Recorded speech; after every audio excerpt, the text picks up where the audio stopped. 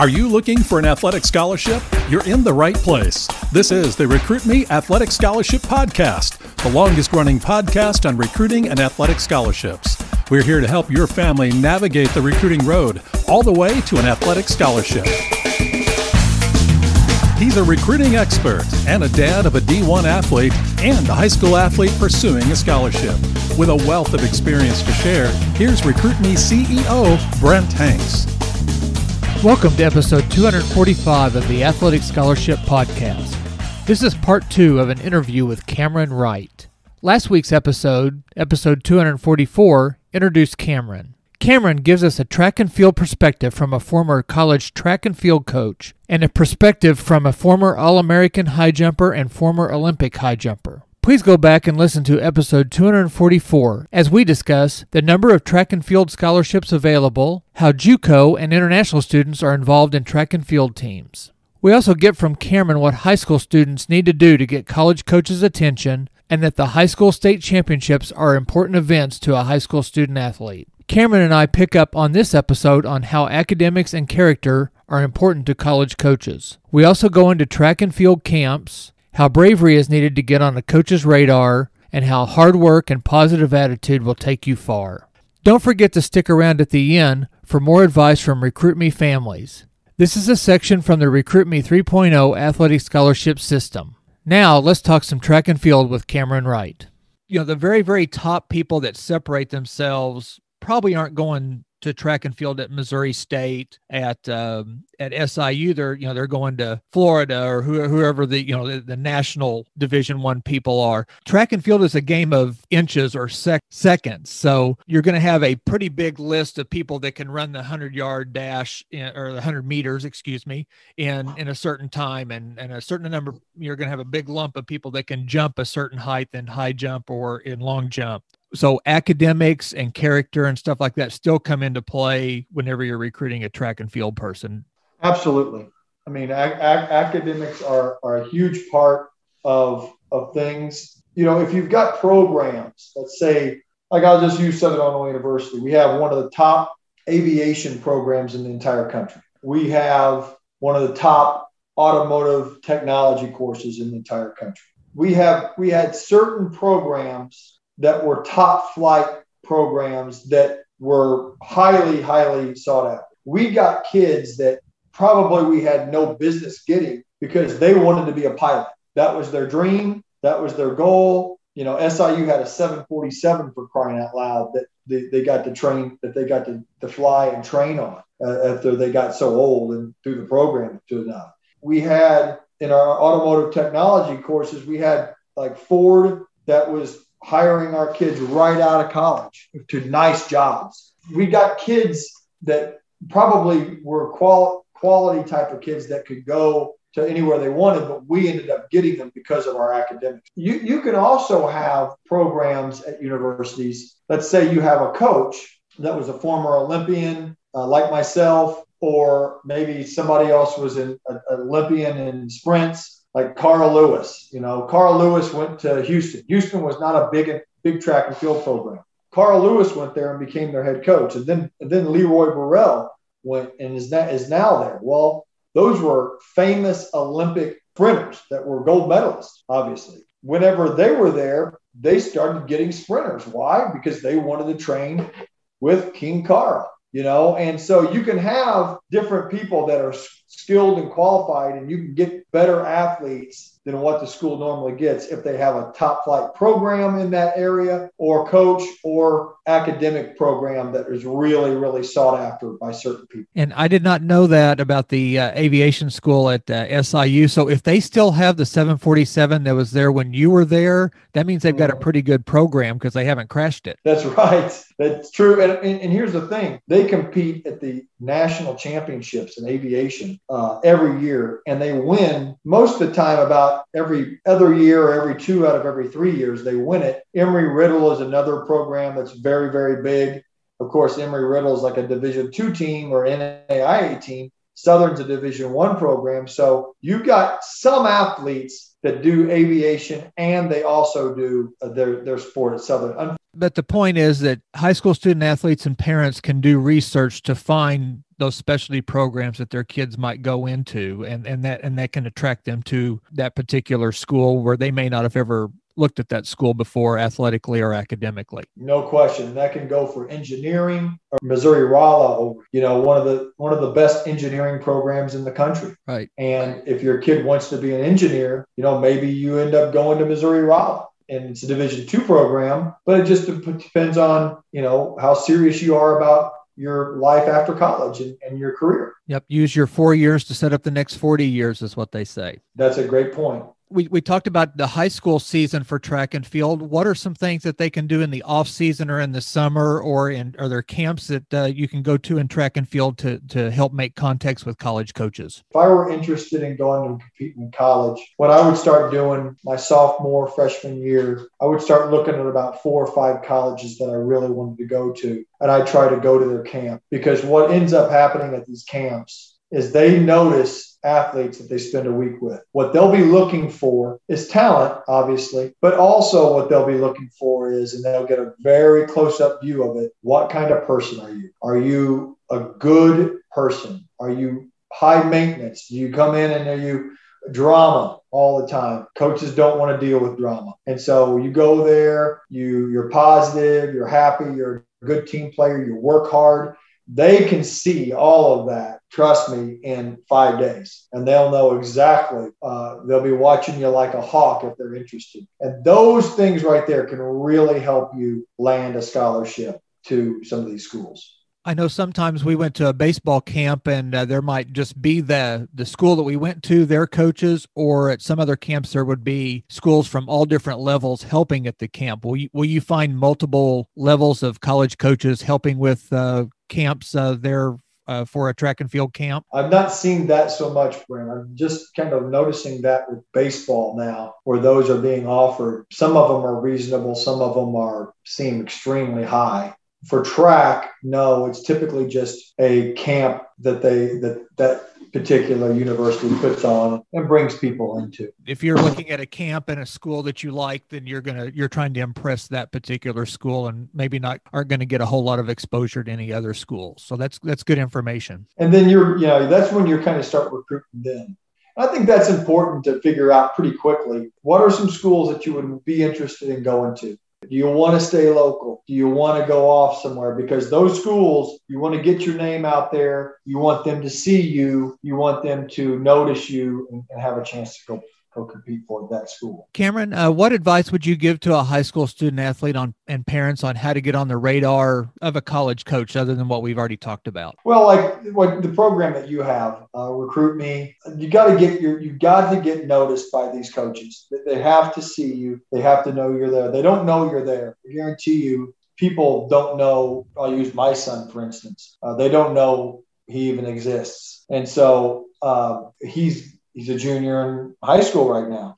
It's time for him to start, uh, you know, getting noticed and, and getting the attention of these coaches, but they don't know exists. So how do you do that? Well, you got to get it. You got to get out there, send them the information, introduce yourself, but also sending uh, personal letters to the coach, uh, to the coaching staff, introducing yourself, stating why you're interested in that particular school. And uh, like I said before, you sending the transcripts and all that is, is extremely important. And, and starting a dialogue and saying, hey, I'm interested in your school. This is why I like your school. Your program, I think, would fit for me. A coach that's already la- lacking time. He's trying to spend time with his family. He's trying to win. He's trying to bring in more players. The last thing in the world these coaches have is time. By reaching out to them, you're helping them uh, save their time. So a student athlete also can go on uh, to like the school's website eh, or even the conference's website, let's say, uh, and and find in track and field you can find the distances somebody jumps or throws. You can find out the the speed they they run a particular race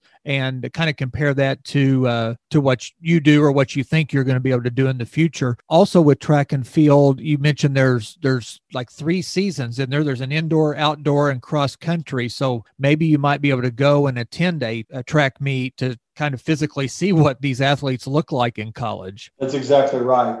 It's, it's almost like an unofficial visit in a way. You, you may not be talking to the coach, but I just believe in bravery though too. Go introduce yourself to the coach at a meet. You know, look for a time when you have an opportunity when it's slow, maybe at the end of the meet, maybe at the beginning of the meet. Go go up to them and say, "Hey, coach, my name is Cameron Wright. Uh, I'm an athlete over at Ozark, Missouri, and I'm interested in your program. I just want to come out and take a look at it. I competed Ozark last year. I did this, I did that. I sent you uh, some information about myself, and uh, just want you to know I'm, I'm very interested in your program. Uh, I hope you take a look at me. That right there, uh, these coaches, it, it's something different. It's something unique. Uh, the, the days of sitting back and waiting in your living room for the phone to ring or for the mail to come really are over because you, you know you need to you need to go out if you're interested in competing in athletics you need to go out and go get it I, I, like the way you put it, bravery. I had an episode called "You Can't Get It If You Don't Ask," and uh, really, a student athlete they can't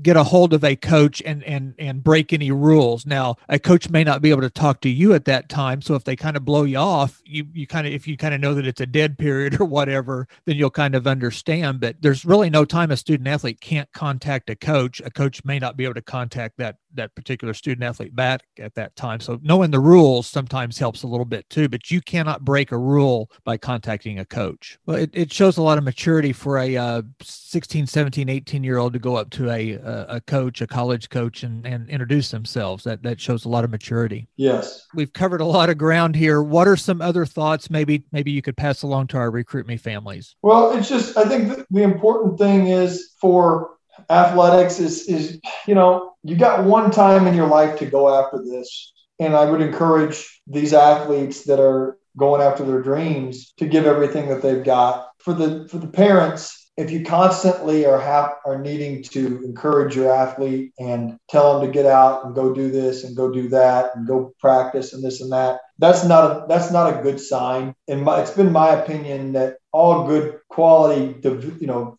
athletes that go to college are pretty serious athletes that are out there working hard. Division one athletics is not for everybody. Uh, it's the best of the best. There's no shame in Division two. There's no shame in Division three, and there's no shame in NAIA. There's a great com- competition there. And there's great people can bloom uh, at these levels as well. And all of a sudden, maybe the, the, these athletes are a little bit, you know, late bloomers, and that makes a big difference. But for the athletes out there, give it everything you have and go for it. Everybody would like to be successful. I could go to anybody, anybody walking the sidewalk and say, Hey, how would you like to be an All American? How would you like to be a conference champion? How would you like to be a national champion? And almost every person in the street would answer, That'd be great. I'd love that. But when you tell them what they have to do, you, you okay, you're going to have to go lift weights, you're going to have to go do this, you're going to have to train five hours a day, you're going to have to do this they're like, whoa, whoa, whoa, I'm not interested that much in it. I thought I just could just show up and do it. Everybody would like to be great. You can't be great unless you give it everything you possibly have. That gives you the chance to be great. That's why I say it, it's very difficult to be a great athlete uh, at the Division One level or any level if you're not going to try your hardest. Coaches want to see kids that give it their maximum effort. The one thing that I want to truly impress upon the athletes out there or the families that are listening to pass on to their athletes is this attitude is everything. One bad apple can spoil the bunch.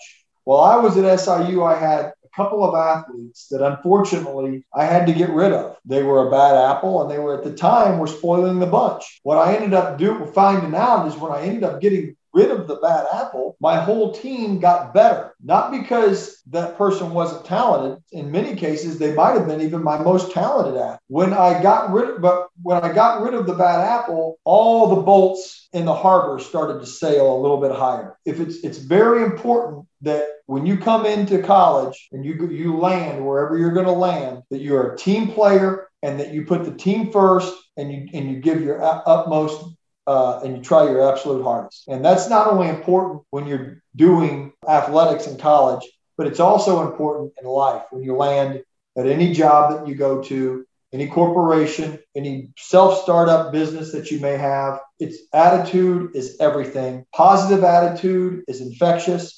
and negative attitude is infectious. Well, and one thing that you don't have to worry about is uh, being infectious in a negative way because you're a very positive person, and I, I, I've enjoyed getting to meet you and your family and i, I can see why you guys were successful uh, both in, in college and uh, and also here professionally as you uh, do your job and i know your your kids are going to do great in whatever endeavor that they do. And one reason i'm passionate about recruit me and my experience in college and hearing yours is and what we want to try to pass along to our kids and hopefully other other kids is playing a sport in college and possibly beyond which track and field kind of lends itself to possibly doing some stuff professionally or, or Olympics if you're if you're elite. But just the experiences and the people that you meet and the places you get to go are something that you may not get to experience in a, in a normal college uh, setting. But you, but there's a big price to pay for it too, also with your time and your and your effort and your sweat and your tears. Absolutely. I mean, the travel when you're in college is is, is so much fun. I mean, getting on the bus, getting on planes with your buddies traveling all over the country, eating out at restaurants, getting to compete and go for your dreams. It's just it's a wonderful life, and it's a, it's it's a lot of fun. Well, that's why we want to try to get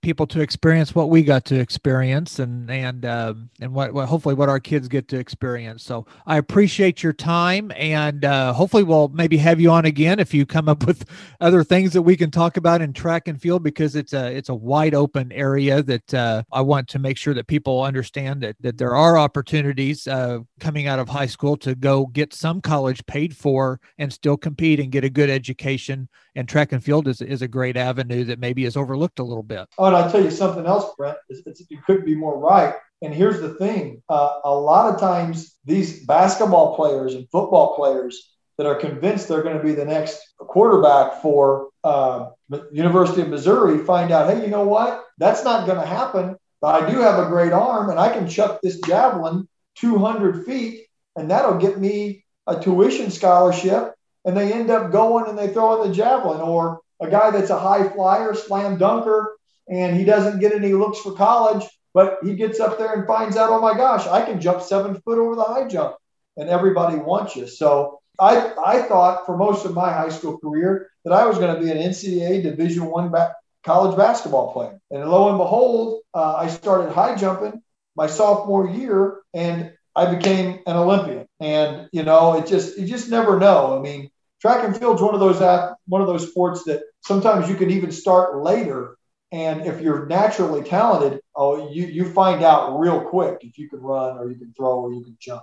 Well cameron thank you very much and uh, we'll let you go because well the boys should be back from baseball practice and we get to watch them a little bit this weekend play some baseball so looking forward to it. Absolutely. Go, well thank you for Ozark tigers. Yeah, thank you for your time. Okay thank you brent. Thank you to Cameron Wright for two great episodes that jumped into the recruiting world of track and field. If you have any comments or questions, please email them to brent at recruit me.com. Also, feel free to share this episode with other families you know, families that could use a jump in the recruiting process. Now, let's continue advice from Recruit Me families. This advice is taken from a section of the Recruit Me 3.0 athletic scholarship system. This section is one of the many helpful and impactful resources that the RecruitMe 3.0 system provides. Go to recruit-me.com backslash system to see more on the system and get the end of school special for only $99. Here is advice from Stephen. The RecruitMe 3.0 is a great value for the money, and with the College Coaches Online is a real time saver. The workbook and the related templates for writing letters and keeping track of correspondence have also been extremely helpful.